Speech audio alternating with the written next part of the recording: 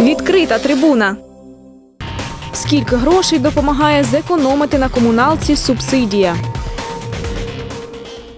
Что касается субсидий, я считаю, что это помощь от государства, которая должна поступать э, крайне нуждающимся людям э, в этой субсидии.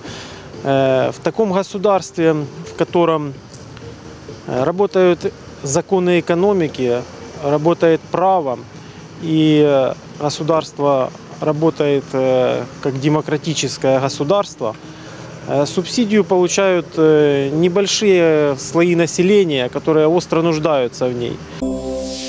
Глядя на нынешнюю ситуацию в нашей стране, конечно, может помочь, но у нас есть некие нововведения, я думаю, в законах, которые э, могут потом привести э, данное улучшение, наоборот, в, в худшую сторону.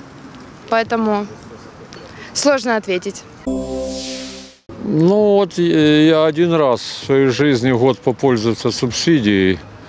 Ну так я сэкономил где-то около 4 тысяч. Это солидная сумма.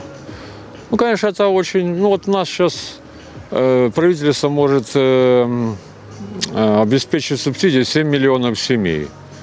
Ну, это значит, это около половины населения страны. Думаю, что да, пенсионерам особенно. Если дадут, то, конечно, спасибо.